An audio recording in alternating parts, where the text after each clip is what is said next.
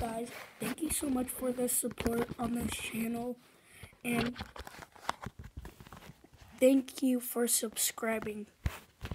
Also, let's try to get to a hundred likes because I just looked at the ATX on YouTube, which I don't know if it's called that. We have 95 likes and all, so we just need five more people to like. Also, subscribe because I only have 13 subscribers, which I know not a lot, but for me, that's a lot for me because a lot of people have a million, so. Thank you for watching this short to the end.